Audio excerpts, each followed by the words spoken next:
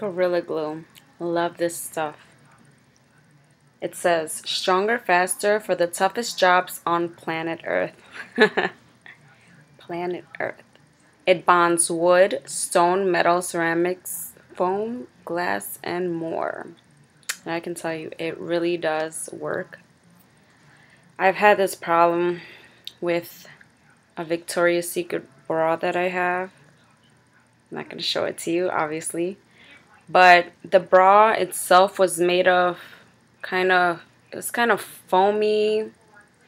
It didn't have, um, it didn't have any stitching. So it's kind of foamy and it was brand, it was a brand new bra and one of the straps actually popped. Don't know how that happened. Maybe it was a weak bonding with the glue um, when it was attached to the other, to the band of the bra. And so I couldn't think of a way to fix it. So I had it in my dresser for a very long time.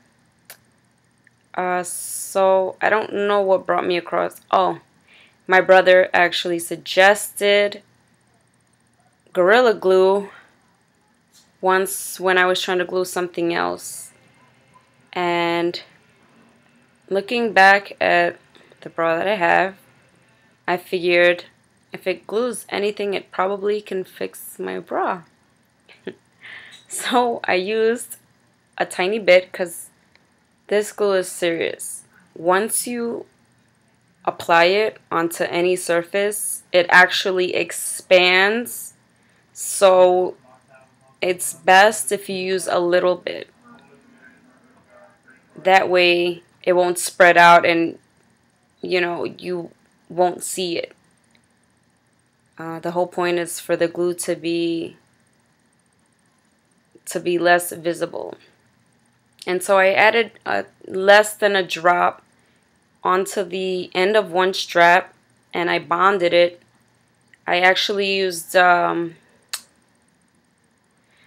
what do you call it? I used uh, like a small clamp, I guess you could say. I guess I use, I don't know, I guess you call it like a clamp for papers. So I use that to keep it together because you have to have some kind of pressure in order for it to bond. So that's what I managed to do within an hour or so, maybe less, 45 minutes, 30 minutes. It actually bonded well. However, I obviously didn't use didn't use a brassiere the same day. I waited. That way I know it bonded really well. And I wouldn't undo the work that I just tried to do. It actually works really good. I'm super surprised that it works that well. And now I feel like I want to glue everything. but I won't. I'm trying to see. Yeah, you need clamps. That way it stays put. I actually tested it out on another item and I didn't really read the instructions. So I come to learn that it actually really does expand a lot when you put it on any surface.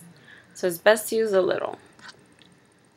But I love this stuff and if you have the same problem with maybe you bought a new brassiere that's made of foam or maybe you have something in your house that needs fixing but you just don't know what will bond it well enough, this Gorilla Glue right here, this is your answer. So that's my household item. And it fixes pretty much anything.